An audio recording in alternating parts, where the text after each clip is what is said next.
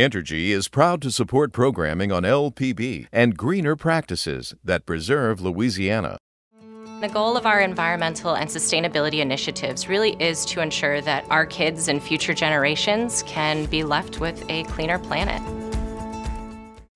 Additional support provided by the Fred B. and Ruth B. Zigler Foundation and the Zigler Art Museum located in Jennings City Hall.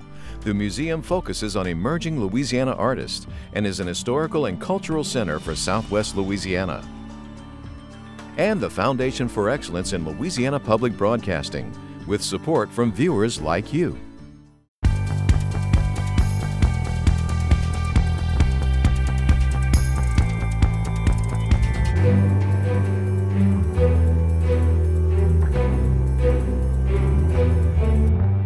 We are about to launch a surveillance testing uh, approach. University ingenuity in the age of COVID 19. The storm surge scooped up sediment sludge. The wrath of Laura is long gone, but its toxic mess is emerging. It looks like a war zone. One family's life changing experience after Hurricane Laura ripped through their lives. Never run a generator inside of a home, never run it inside of a garage. Life saving information after several die of carbon monoxide poisoning after Hurricane Laura. Hi, everyone. I'm Natasha Williams. And I'm Andre Moreau. Much more on those top stories in a moment on this week's edition of SWI. But first, today marks the 19th anniversary of 9 11. Nearly 3,000 people were killed on September 11, 2001, in the attack of the World Trade Center in New York. It's remembered as the U.S. faces another deadly crisis that is not over the coronavirus. And in our state, the latest numbers show 41 more coronavirus deaths, mean more than 5,000 have now lost their lives because of the virus in our state. Governor John Bel Edwards announcing today after six months the state is moving into phase three. Looser restrictions for most businesses except in New Orleans, and masks remain mandatory. The order continues to recommend uh, the most basic of all of the CDC uh, recommendations, uh, and that is those uh, at higher risk of, of severe illness from COVID 19 continue to realize they are safer at home. Uh, and they should not go out and, and certainly should avoid large crowds um, unless there's some sort of essential activity that they need to engage in, such as getting food or medical care. Um, and this order will be in place for uh, 28 days, uh, expiring on October the 9th. And now we'll look at other headlines making news across our state. The heat death of a 58 year old woman in central Louisiana is the 27th attributed by the state to Hurricane Laura. The state health department says the woman lived in a trailer home without electricity or air conditioning. The storm caused major power outages and destroyed the power grid in Lake Charles. FEMA has approved two additional parishes, Union and Morehouse, for help in the aftermath of Laura. People in 18 parishes are now eligible for FEMA assistance. The governor is urging residents affected by the storm to register. Clouds of mosquitoes have been so thick in the southwest part of the state, they're killing cattle and horses. Farmers in a five parish area east and northeast of where the storm made landfall say they've lost hundreds of animals. Veterinarians say the swarms cause a vast number of bites that leave horses and cattle anemic and bleeding under their skins. The state's election commissioner testified this week about concerns over the volume of absentee mail ballots that are expected to delay tabulation of results for the November 3rd election. Testimony was in a lawsuit filed by voting rights advocates who say the current state plan is not adequate. The mayor of Vidalia confirmed he has tested positive for COVID 19. Mayor Buzz Craft says his symptoms have been minor and he is quarantined at home. He's also reaching out to anyone he may have come in contact with. The start of the high school football season in the state has been moved up a week, now scheduled to begin October 1st through 3rd. It means full contact workouts have now begun. Athletic officials say the plan to move forward would have happened whether the state was in phase two or phase three of the virus.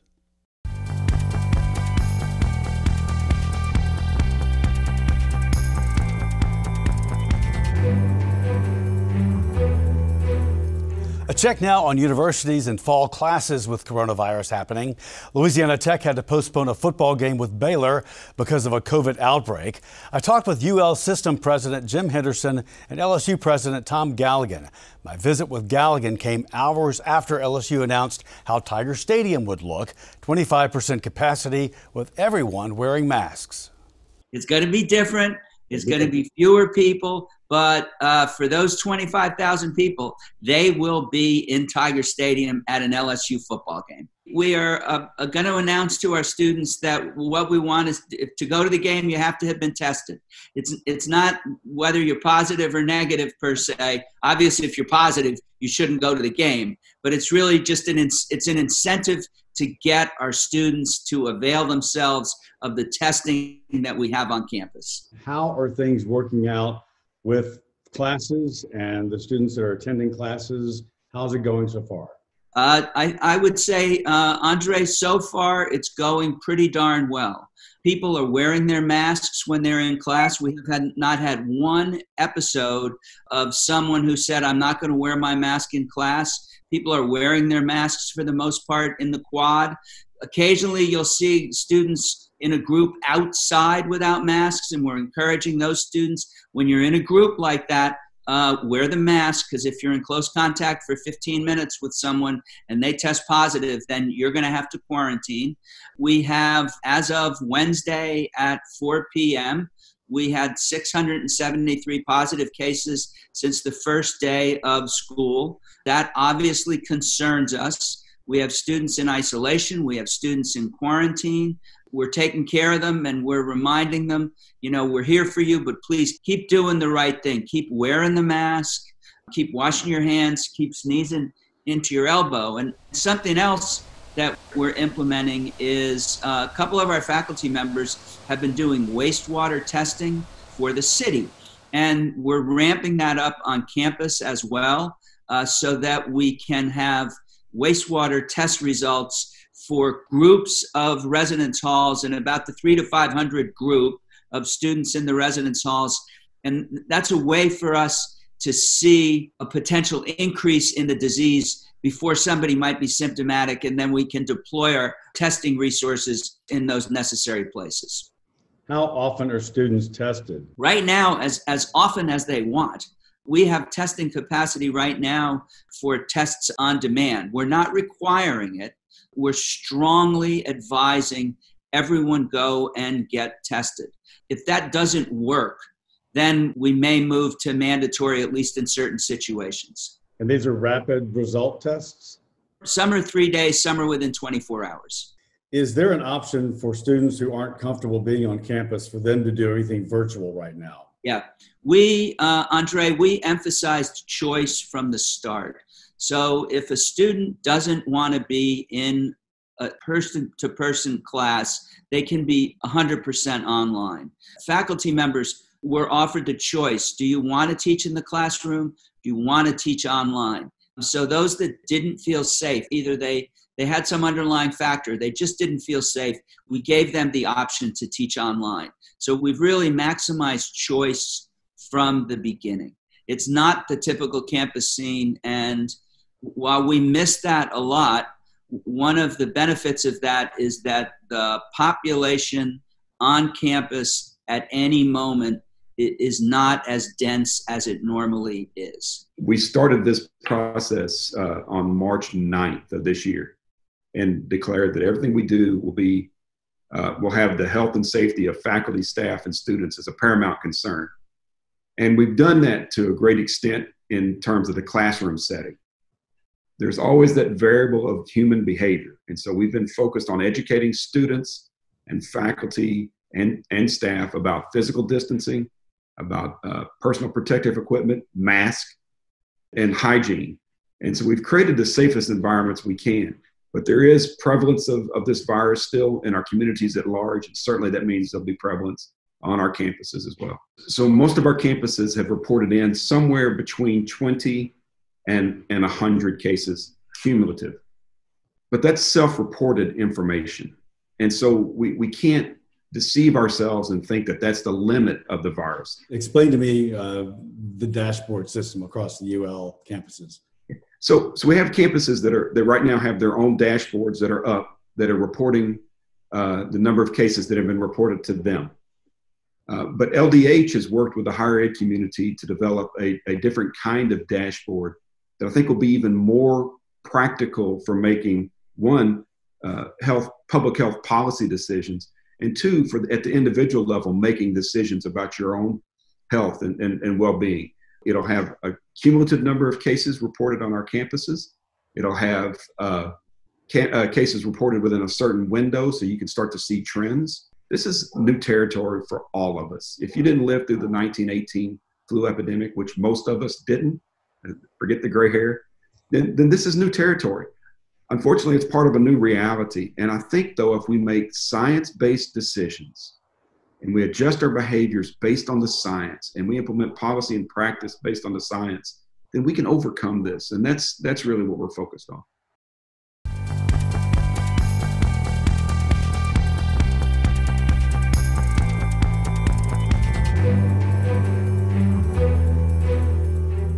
They evacuated before Hurricane Laura tore through Lake Charles a couple of weeks ago, and they feel fortunate that their family they are safe and their homes were not totally destroyed. But now the Cappels are struggling to pick up the pieces of their lives still scattered about during a pandemic. We talked to them about the difficulties they and many other families are facing. They are one of hundreds of Lake Charles families that have had their lives turned upside down. Sarah um, Cappel is a fourth grade teacher. You know, there, there's downed trees and power lines and houses that are destroyed in every direction that you look in every on every street that you go down. The best way to describe it, it looks like a war zone. It's it's unbelievable. And we had seen photographs of you know our houses and some videos and things of the area, but it really just doesn't convey what you see in person. Edward, her husband, is an artist. Yeah, it's pretty much any route that I've taken into the city, it's been the same thing. It looks to me like a 30 mile wide tornado came through in terms of direct hit for wind damage, it was the perfect storm to tear Lake Charles up. What does your home look like? Our home is, is nested. We have three homes around us, which help as a buffer. So we need new roofing. We had some water damage, but when we have electricity, we'll be able to get back in our house. I think my parents' house got hit much harder, has extensive roof damage, took on a lot of water during the storm, and a lot of trees. I think um, their neighbor, kind of behind them, knows when all the trees snapped. It sounds like a tornado had gone through the property.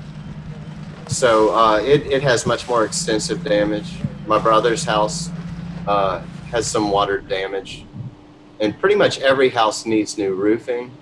Some houses are unlivable quite a few are unlivable, and there's the occasional house that it didn't look like anything happened.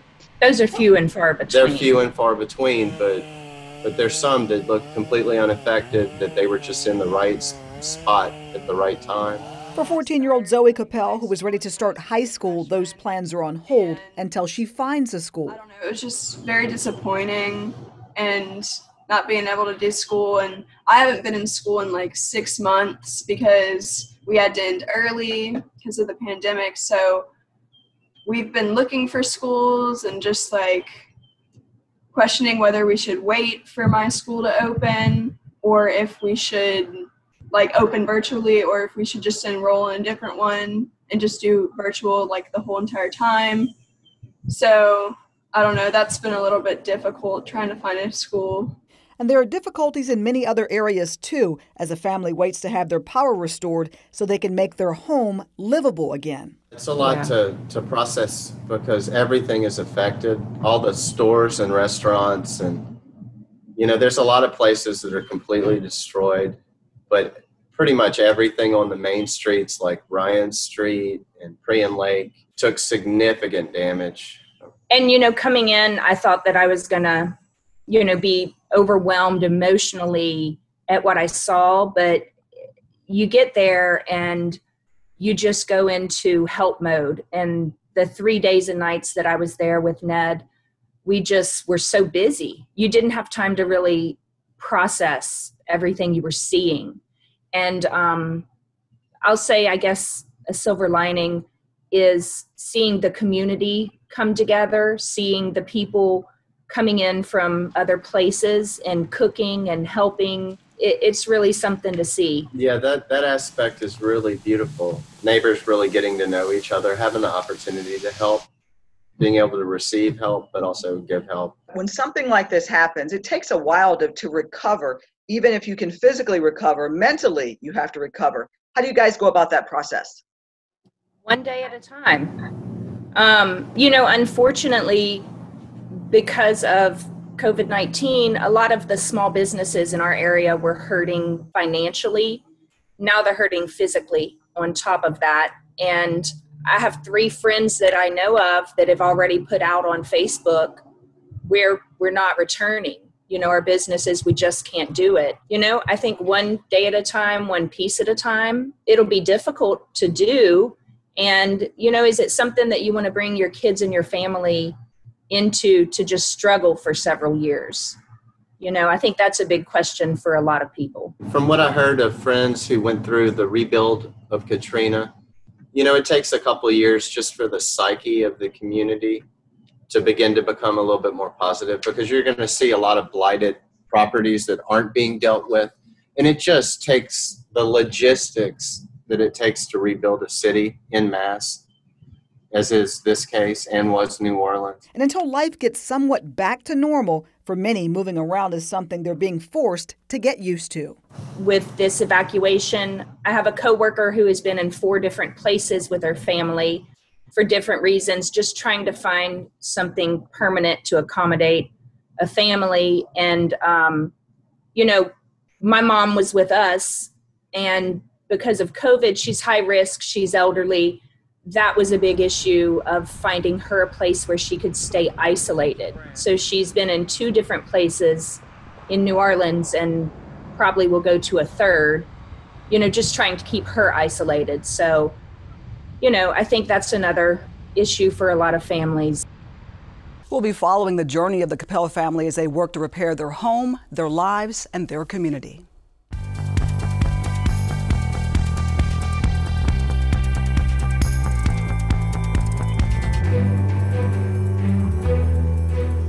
Laura caused significant damage to a site that holds 30% of the nation's storage of emergency crude oil.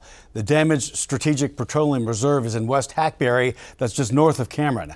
I talked with Wilma Subra. She's a pioneer in environmental chemistry and an advocate for those impacted by toxins that infiltrate their lives. In our state, when a hurricane hits a region that's heavy in petrochemical, which is every region just about, but particularly Lake Charles. What happens, especially when it's a strong storm like this? What takes place? So, in association with this Hurricane Laura, there was a storm surge and very, very high winds. So, the storm surge scooped up sediment sludge throughout the estuary area and brought it on shore. And the industrial facilities especially the storage tanks, leaked into the secondary containment, which then got distributed throughout the environment. And so when you go in that area, you see lots of crude oil or oil stains on property, on structures, on the soil.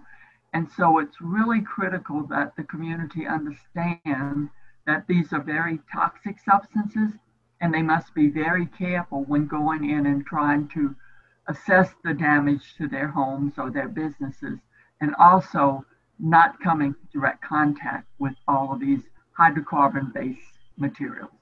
That's never the first thing that is reported or thought about or makes the headlines. But after a week or so, it becomes, oh, yeah, well, look at this now. There's a giant oil sheen here, or there's a problem here. And that is normal because they're used to having flaring events, they're used to having emission events, and the people just sort of ignore it. And then after a time, you all of a sudden take a second look and say it's all over the place. The issue becomes the individuals going back and assessing the damage and determining how they're going to either remedy the damage or move out of the area. But that's when they become contaminated when they are going in on their property and in the structures, and they're not aware of it. And so the issue becomes a need to evaluate how extensive and what contaminants are there and determine what has to be done to remedy it. So when you have all the insurance inspectors going in, they're looking at structural damage, not necessarily contamination. So the inspectors need to be made aware that there's a potential for contamination in these areas, and that should be evaluated as well as the structural damage. Is that something that is the responsibility of the homeowner or whatever is being evaluated? So the homeowner needs to be aware and observe, but the inspectors are the ones going to go in and determine how, how much you get back from your insurance coverage. And then once they do that, the homeowner has to decide if they're going to hire a contractor and if they need sampling in the area before they hire a contractor to remedy the situation. The areas along the fence line of the industrial facilities, but also the areas where the storm surge came in because the entire estuary in that area is contaminated from historical operations. Some of those facilities were built in the 40s as a war effort, and they discharged lots of toxic chemicals into the estuary. So if you were in an area that the storm surge brought sediment sludge onto your property, that is potentially contaminated, and that's what you should be paying attention to and evaluating.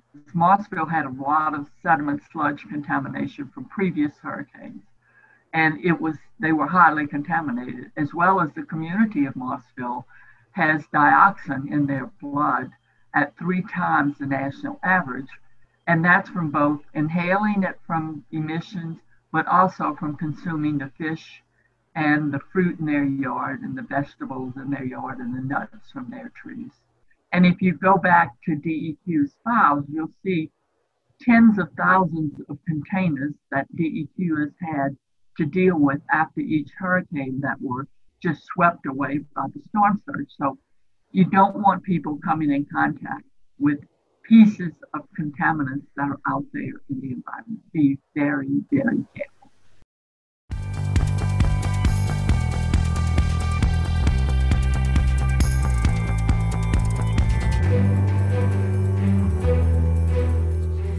Several lives lost in the aftermath of Hurricane Laura were a result of improper use of portable generators. Laura destroyed large parts of Louisiana's power grid after making landfall with winds of 150 miles per hour, destroying everything in her path.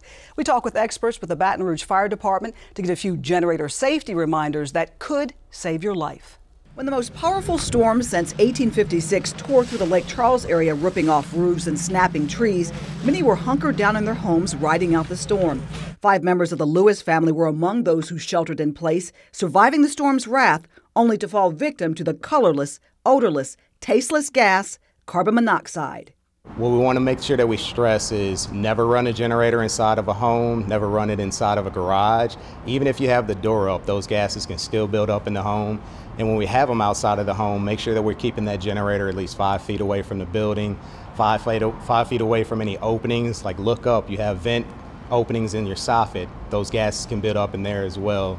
Don't keep it next to a window. All these things are things that we want people to remember. Justin Hill, Public Information Officer for the Baton Rouge Fire Department, says those tips can literally save your life and are something we should take note of several times a year, not just during hurricane season any time of the year we, we see a big drive of you know generator safety during the summertime during hurricane season. But like you mentioned these storms happen year round not just hurricanes but in the wintertime we have ice storms every so often you know and just thunderstorms roll through we'll lose power. Doesn't even have to be a storm. It could be an nva that caused a power outage and we may be out for an extended period of time and you know losing power is just something we're not new to down here for many in and around the Calcasieu Parish area, the power is still out and will likely be out for several more weeks. Even more reason to take extra precautions when using a portable generator.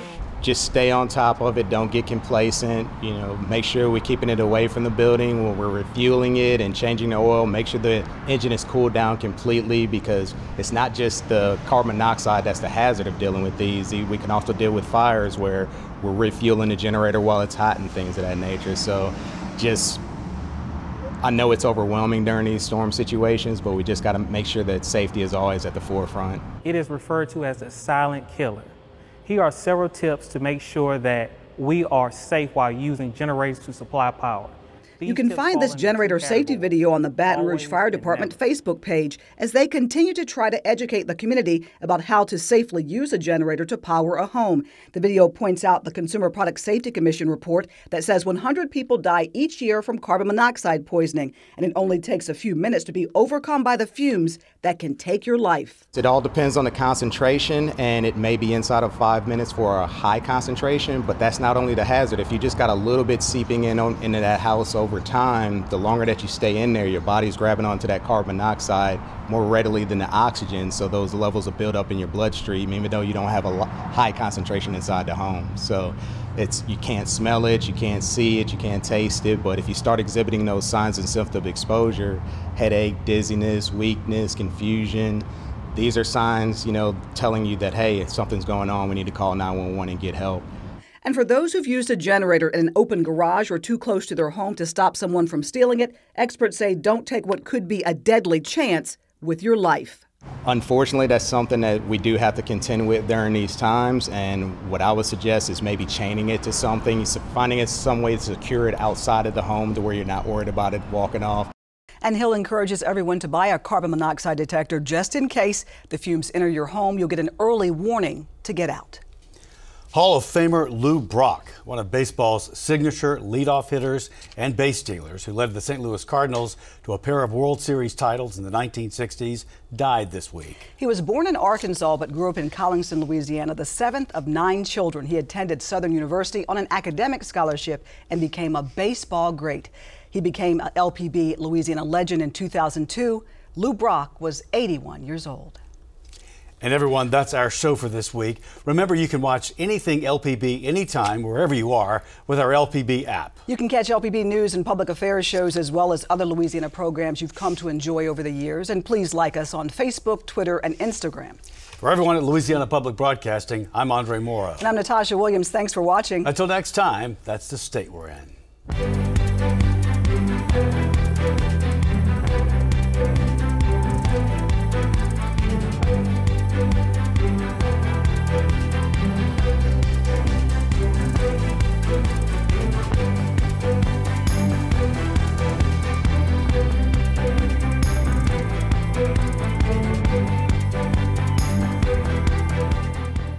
Entergy is proud to support programming on LPB and greener practices that preserve Louisiana. The goal of our environmental and sustainability initiatives really is to ensure that our kids and future generations can be left with a cleaner planet. Additional support provided by the Fred B. and Ruth B. Zigler Foundation and the Zigler Art Museum located in Jennings City Hall. The museum focuses on emerging Louisiana artists and is an historical and cultural center for Southwest Louisiana.